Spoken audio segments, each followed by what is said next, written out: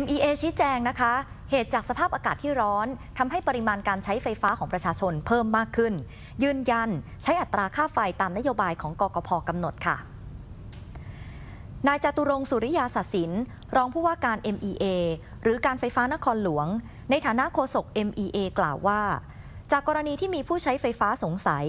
ว่าการที่ค่าไฟสูงขึ้นในช่วงนี้ เป็นเพราะการไฟฟ้าขึ้นค่าไฟหรือไม่ ขอยืนยันว่าไม่เป็นความจริงค่ะ MEA ใช้หลักการการคิดค่าไฟฟ้า จากหน่วยการใช้ไฟฟ้า ในอัตราตามนโยบายของคณะกรรมการกำกับกิจการพลังงาน หรือกกพกำหนด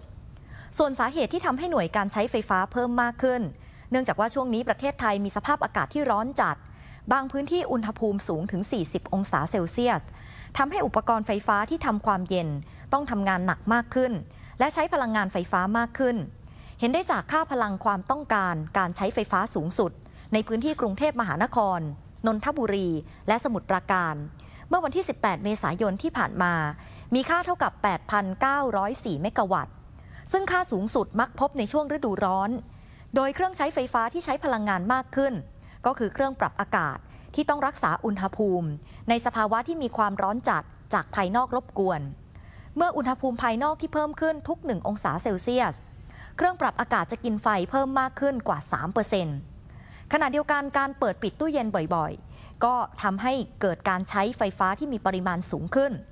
รวมถึงการประกอบอาหารด้วยเครื่องใช้ไฟฟ้า การใช้น้ำเพื่อการอุปโภคบริโภคมากขึ้น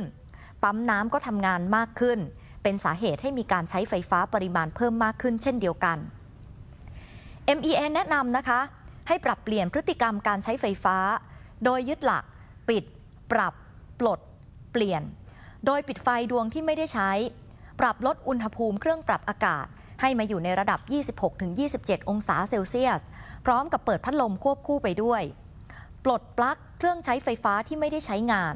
และเปลี่ยนไปใช้เครื่องปรับอากาศที่มีค่าประสิทธิภาพสูง หรือเปลี่ยนพฤติกรรม โดยไม่เปิดปิดตู้เย็นบ่อยๆ เป็นต้นค่ะ